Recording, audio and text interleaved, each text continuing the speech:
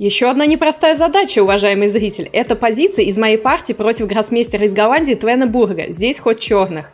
Последний ход белых был конь b3. И черным надо реагировать. Как пойти? Напишите ваш ответ в комментариях. Проблема в том, что если мы побьем слон b4, последует ферзь g4, двойной удар. В позиции есть очень сильный тактический ресурс, жертва, качество. Проблема в том, что если белые берут, мы забираем. Теперь мы берем на b4, и ферзь g4 не работает, потому что последует ферзь опять шах. Мы защитим пешку на g7, слон также защищен, после чего мы заматуем короля. И последовал король b2, но тогда черный меняет ладьи, после чего уходит слоном с темпом. И теперь на ферзь g4 я попросту защищаю пункт g7 ходом g6.